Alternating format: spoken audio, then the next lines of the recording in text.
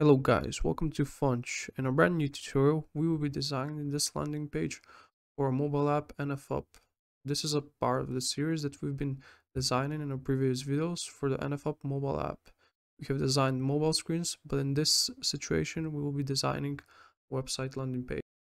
Okay, let's get started with this website project. First, what you want to do is you want to import the starter pack files that we have provided in the description. So make sure to copy the files and paste them into your Figma file. I'm just going to paste them here.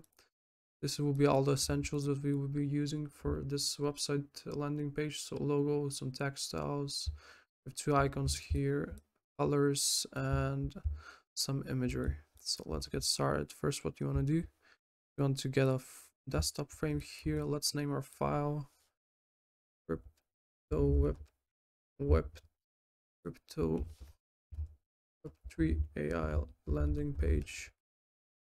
This is the concept for this page, and let's name this frame frame landing page. There we go. Okay, let's give it a fill. We want it to be linear gradient, and let's set this gradient something like this and let's get some colors here so for the first one we want to add this one this blue and for the second one we want to add this one. And let's set this one to 90% the second one. There we go.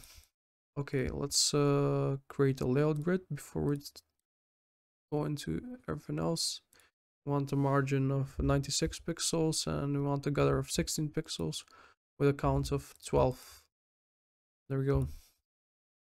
Okay let's uh design the navigation. So create a frame of 64 pixels and scale it all the way to the other end there we go let's name this navigation there we go easy peasy let's copy the logo the NFUp logo and just paste it into your frame. There we go. Center it. Great. Okay. Uh, let's design the navigation links. So let's write them up. First one is discover. They should be in Open Sans font family and they should be 16 pixels. And we're going to be needing an icon this is supposedly a drop down menu, so we're just gonna add an icon here. And let's add this icon a white color. Let's position this correctly. We want the icon to be to the bottom edge of the text. Let's make sure they're in the frame, both of them. There we go.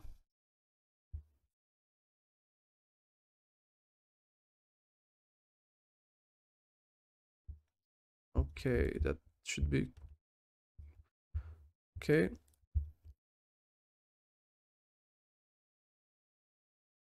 Great. Let's group them and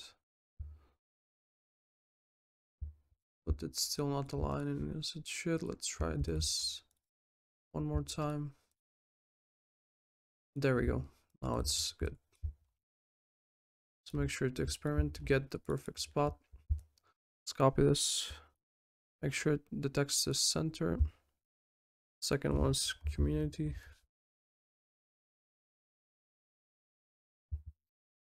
There we go. Third one should be solutions.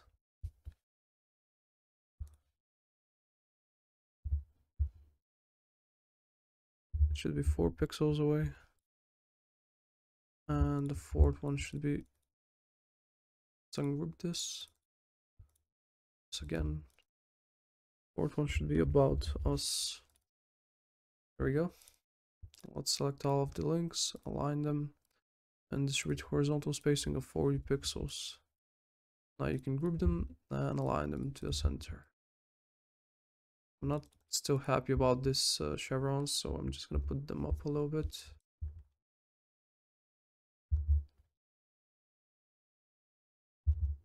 There we go. That should look much better. Okay, we have our links ready. So what we're gonna do next is we want to design the connect wallet button. So let's just write here connect wallet. We can add all, auto layout holding shift A. Add 8 pixels to the top and bottom and 16 to the left and right. And what we want to do is we want to add a fill. We want this primary color fill. First one and there we go. That should work well. Let's add 8 pixels of corner radius and make sure the text is centered and it's uh, it's bold. Let's go with semi-bold. Make sure it's aligned on your grid and it's centered. Perfect. Okay. Let's write up the hero components here. So we're gonna need a title, a description, and a button. Let's start with the title. Also add a gradient to the text. Let's write it up. Revolutionary AI centralized trading on web. 3 there we go. Align it to the left and this should be Segoe UI and let's add a bigger font. There we go. Let's try it. 48 yeah 48 should work well. Align to the grid. And let's give this uh, first two words some on gradients so you can go to fill linear and try to position it in the middle of your text. It doesn't have to be perfect but make sure it's in the middle. And let's select this first color our primary color. And we can copy it one more time. Copy this and we can give this another color. Maybe something wider. Let's position it a little bit back and copy it one more time and let's give this this purple shade. And let's give it the same shade to the last component as well here. Okay. Be four. There we go. Let's position these. Let's copy this one more time something for the middle and make sure it's something fun. There we go. Let's give this a bold. And see here what we can do. Try to make it as readable as possible. Let's make sure to experiment on your own as well. There we go. Okay, let's write up the description below it. So, another platform we leverage sophisticated machine learning alg algorithms and natural algorithms. There we go. And natural. What? Oh, we have a typo and natural language processing to deliver actionable insights and produce tangible outcomes for you. There we go. Let's uh, add Open Sans as font family and 16 pixels be 96 pixels from the left. There we go. And it should be 24 pixels from the title. Great. Let's select this uh, background color as it fill and let's give something slightly just slightly bluish. Very slight. This background. There we go. Let's set semi bold here.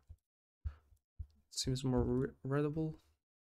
Let's design the button, the call to action button here. So get started.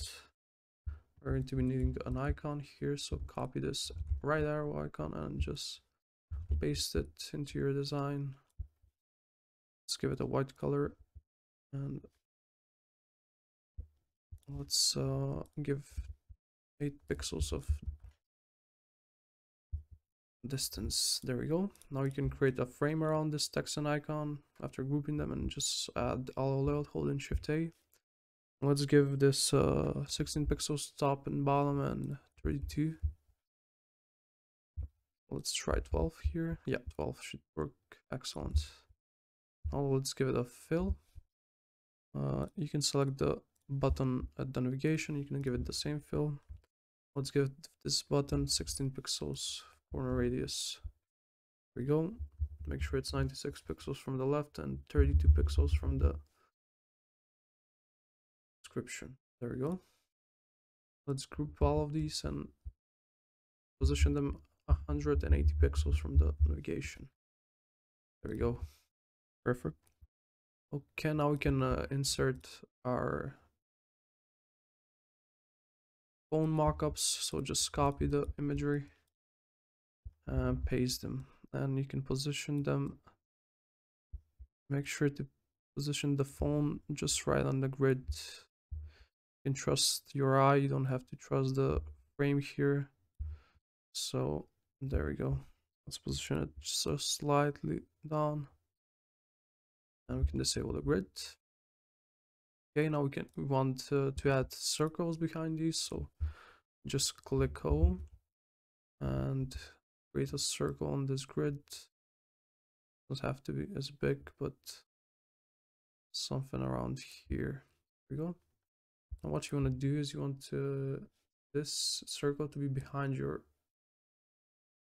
mockup so make sure to see which mockup is the is in your frame and just place it place the ellipse circle below it so it goes right behind it even better you can just hide this and you can work with your circles you can lock it as well Okay, let's create another circle, circle. So just copy this and let's select both circles right now and position them in the center.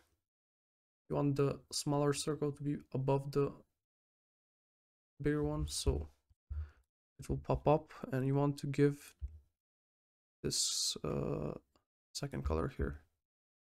And you can select uh, bigger circle and give this other blue. There we go. You can group both circles now. We can unlock and show the mockups. Okay, there we go guys. Our landing page is ready.